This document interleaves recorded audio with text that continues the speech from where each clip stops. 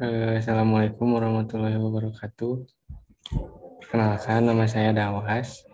Di sini saya akan eh, me- menjelaskan mengenai tentang bagaimana sih cara penyolderan itu.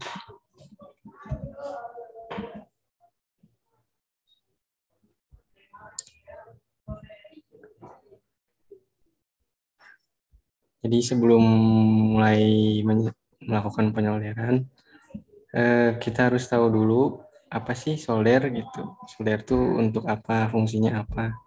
Jadi solder itu merupakan jenis alat jenis alat pemanas yang berguna untuk melelehkan timah sehingga dengan demikian komponen dan kaki transistor tersebut akan dapat menyatu dengan jalur pada PCB atau print circuit board.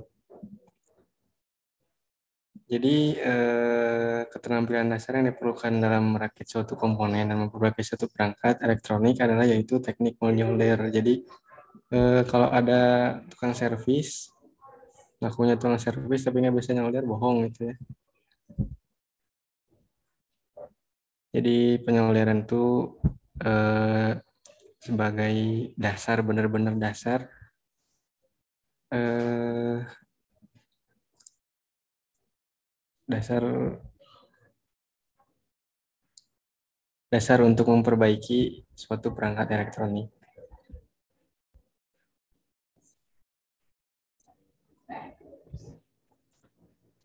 Selanjutnya di sini ada contoh gambar atau contoh contoh macam-macam solder. Ada solder yang sering kita lihat dan masih banyak jenis solder yang lainnya.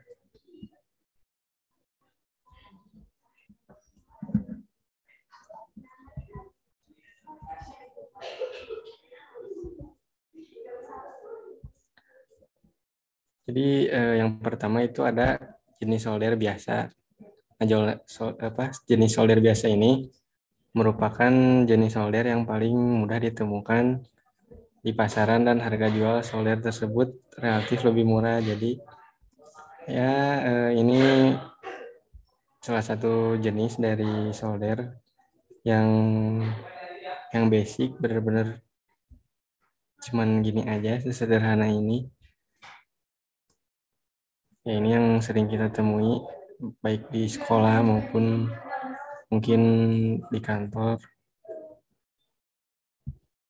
Selain itu ada juga jenis solder uap. Jadi eh, sebelum menggunakan solder uap, penting untuk mengetahui pengaturan dasarnya yaitu pertama pengaturan mengenai tingkat panas yang dihasilkan melalui mata solder. Serta yang kedua adalah tekanan udara yang dikeluarkan. Dua pengaturan ini saling berhubungan satu sama lain. Ini eh, contoh dari jenis solder uap. Oh ini kan perangkatnya lebih kayak kompleks ya. Jadi ada soldernya dan juga ada apa alat untuk uap itu. Ini sebagian contoh gambarnya solder uap seperti ini.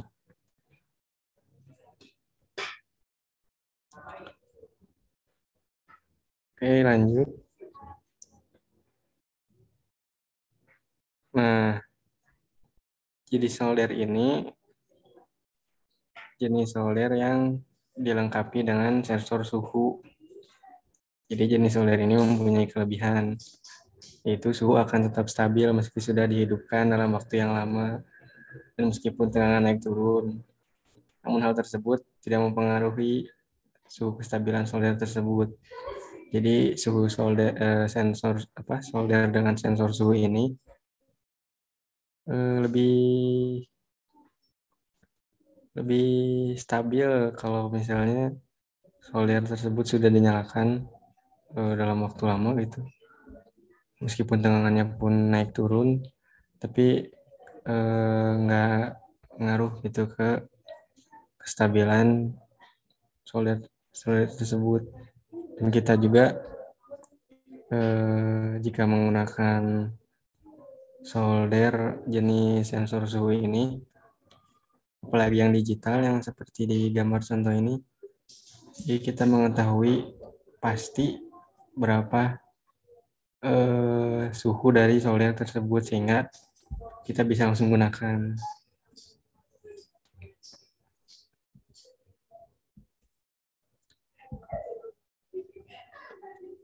Nah ini eh, selanjutnya bagian-bagian solder.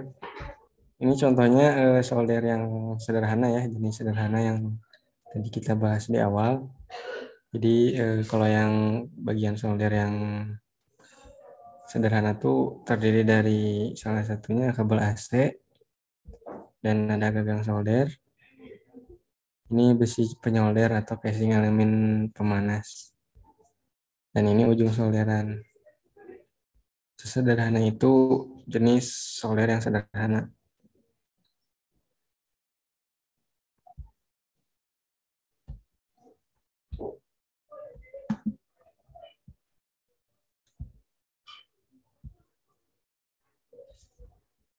Nah, kemudian persiapan apa saja sih yang harus disiapkan sebelum kita akan melakukan penyolderan? Yang pertama yang pasti kita harus menyiapkan soldernya terlebih dahulu. Ya, soldernya bebas mau jenis apa pun, mau jenis yang sederhana sampai yang paling bagus, paling mahal itu bebas. Yang penting ada soldernya. Lalu yang kedua di sini sebenarnya yang kedua agak penting gak penting cuman termasuknya penting gitu. Jadi ini yang kedua tuh dudukan solder ini uh, dudukan solder juga uh, sudah ada termasuk dengan spons untuk pembersih. Uh, ini ya uh, ujung solder. Lalu yang ketiga ini nggak wajib cuman uh, tergantung kebutuhan aja sih. Ini yang ketiga itu flux namanya ya. Ini buat oh, biasanya sih kalau saya pribadi pakai jarang pakai flux ya. Jadi kurang tahu detail fungsi dari flux ini apa. Jadi ini penting gak penting sih. Nah, yang penting setelah solder itu yang paling penting dalam melakukan penyoleran itu timah. 5 merek Paragon ya udah paling bagus lah ya. Nah, selanjutnya ada penyedot timah. Kalau ini kalau buat yang baru belajar mungkin butuh ya. Mungkin buat yang sudah lama nggak nyolder juga pasti ada selalu ada salah sih kalau untuk nyolder.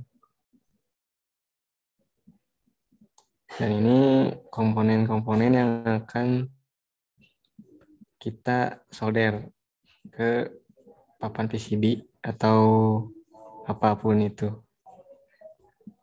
Dan yang terakhir itu papan PCB-nya.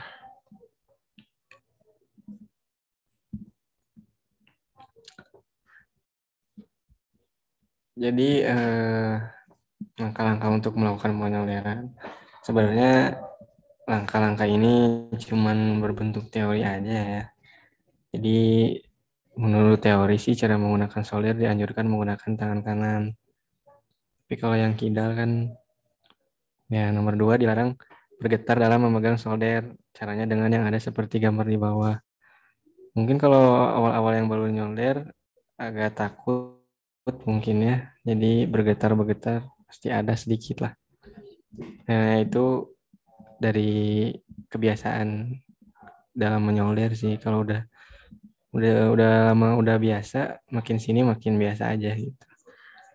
Kemiringan kurang lebih 45 derajat. Eh, sebenarnya nggak harus ya nggak harus 45 derajat gitu. Senyamannya kita aja yang penting solderannya rapi nggak nggak terlalu ya pokoknya senyamannya kita aja lah Cara memegang timah. Pegang dengan tangan kiri. Oke. Okay. yang kidal tangan kanan. Nomor dua, timah harus dipegang sekitar 2 cm dari ujung. Ya 2 cm dari ujung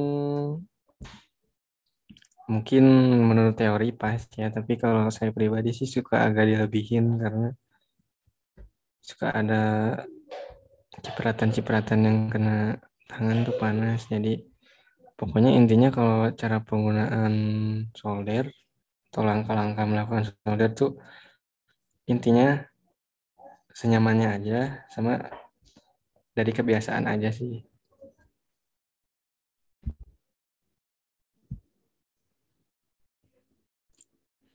Ini juga masih termasuk yang tadi ya, langkah-langkah dalam penyolderan. Jadi posisi solder iron harus 45 derajat mengenai kaki, komponen, dan pad pada PCB yang akan disolder. Dua, sentuhkan timah ke ujung solder iron. Tiga, fungsi posisi 45 derajat adalah untuk menyeimbangkan panas, mempermudah pencairan timah. Oke. Jadi itu ya posisi soldernya.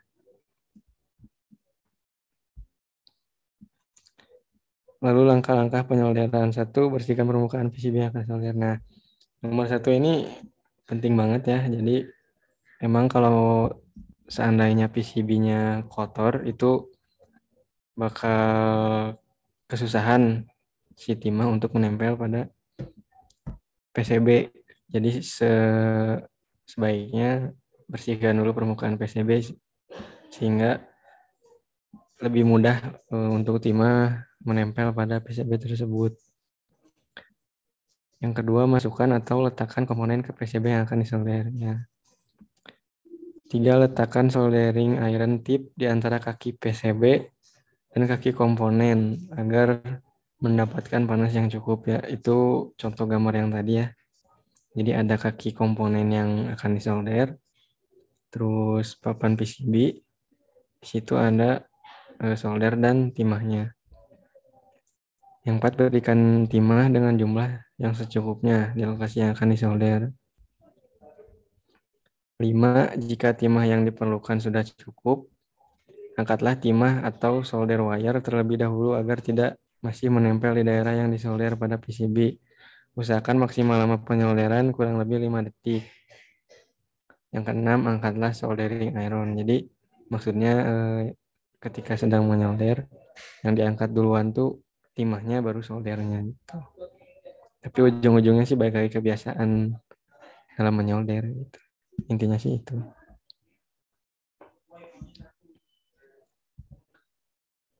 Nah ini eh, contoh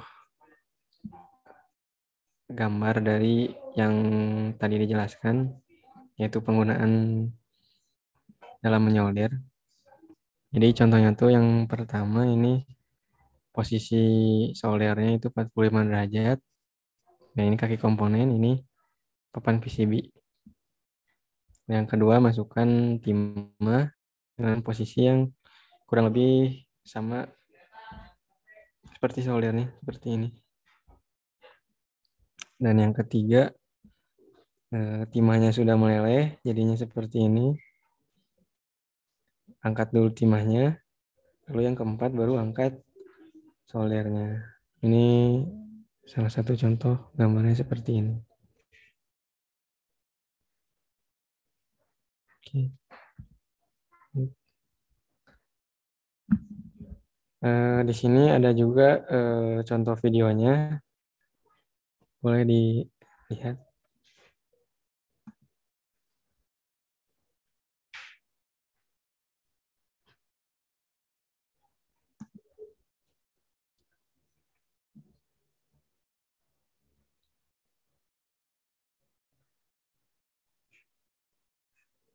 Sebenarnya itu nggak tahu ya 45 derajat atau bukan tapi feeling sih bukan.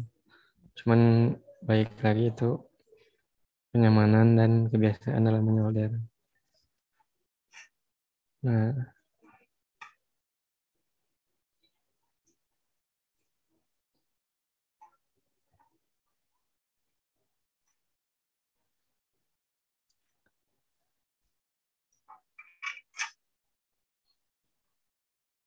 Oke.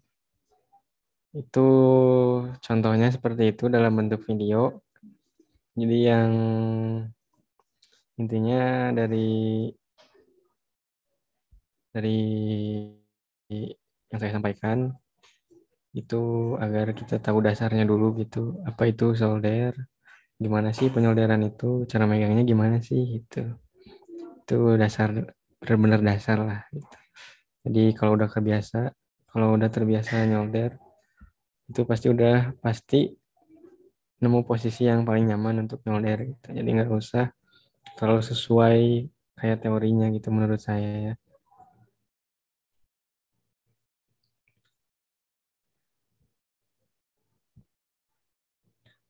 Oke, mungkin sekian dari saya. Terima kasih atas perhatiannya. Mohon maaf. Dalam penjelasan ini masih banyak kekurangannya. Mohon dimaklumi. Sekian. Assalamualaikum warahmatullahi wabarakatuh.